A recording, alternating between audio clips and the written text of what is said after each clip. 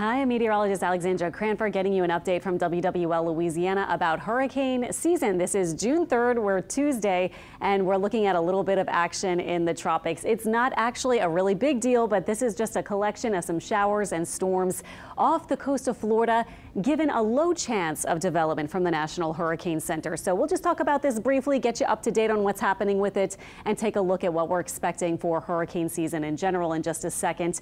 Formation potential from the National Hurricane Center, you can see 10% chance of development in two days and same thing in the next seven days.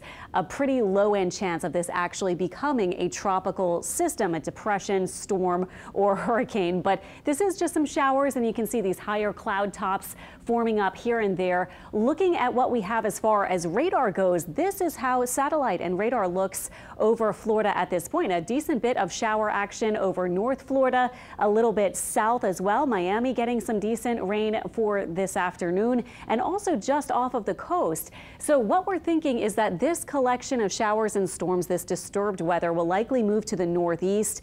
And when it generally gets out over the warm water as opposed to in the Florida region right now. Once it's over those warm waters of the western Atlantic with sea surface temperatures in the lower 80s right now, it will have at least some chance of transitioning to a tropical system. Not a very high chance for that to happen. Let's look at precision cast, for example, uh, going forward in time into Wednesday. It does have some intensifying of some showers and storms. It has a little bit of that spin that you can see.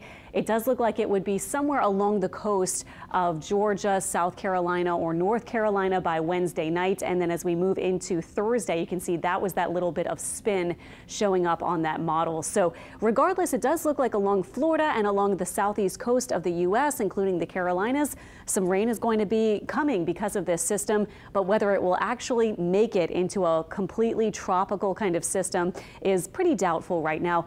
One thing that we're looking for the longer term forecast for our part of Louisiana, we're in New Orleans, of course, WWL Louisiana, or other spots along the Gulf Coast, is that we do have this time of year often these plumes of Saharan dust, and we have some right now. We have a big plume heading our way in the next couple of days toward the end of this week by Friday. And then this takes us a long way out. We are expecting to get even more plumes of the dust. So they come out this time of year from over the Saharan desert, goes out over the Atlantic Ocean, and eventually can make it toward the Caribbean and the Gulf and can kind of swirl along the Gulf Coast, giving us that hazy look to the sky.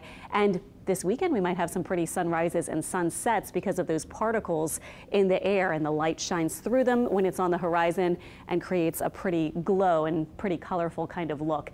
Now, if that little disturbed area does become a tropical system, uh, meaning if it does eventually get a name, that would be a tropical storm status. It would get Andrea.